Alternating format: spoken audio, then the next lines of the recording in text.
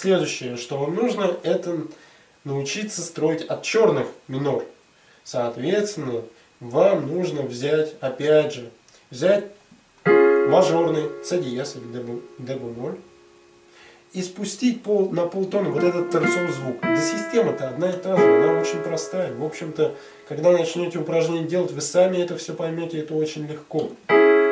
Все люди к этому привыкли, а вы что, не привыкнете? Конечно, привыкнете. Поехали дальше.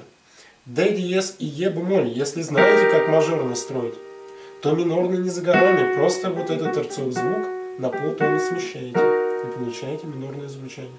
Соответственно, F диез строим и G бемоль вот оно. Соответственно, на полтона торцовый звук. Вот оно. Минорное звучание. F, DSM и G, M, бемоль.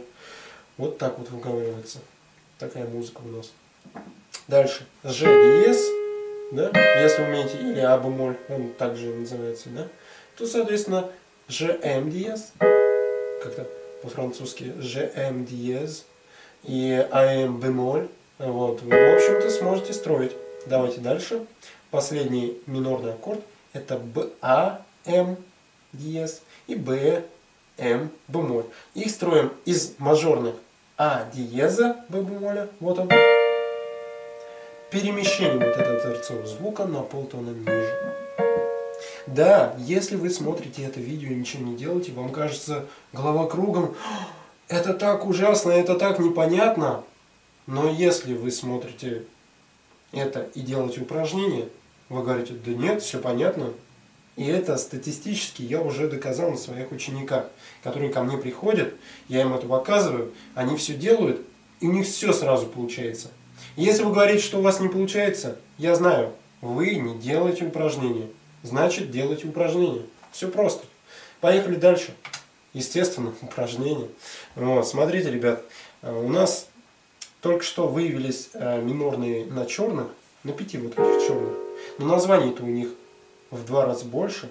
Ну, плюс еще там вот эти, вот эта одна классическая нота, которая так себя проявила.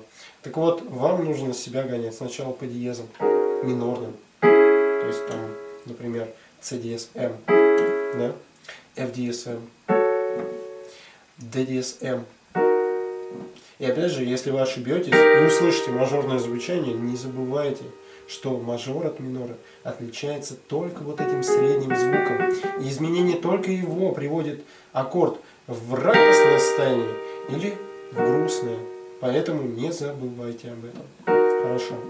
Ну, в общем-то, когда с диезами вам надоест, можете начинать с бемолями.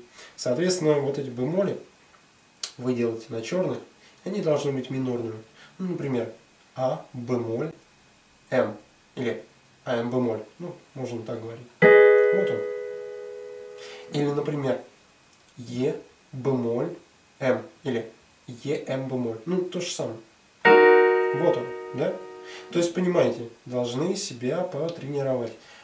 Блин, пять вот этих черных запомнить будет без проблем. Просто поделайте, просто делайте, как я вам говорю, и у вас все получится. Хорошо. Ну, дальше в перемешку вы уже догадались, что там нужно диезные с бемолями, мажорные с минорами и все это вместе.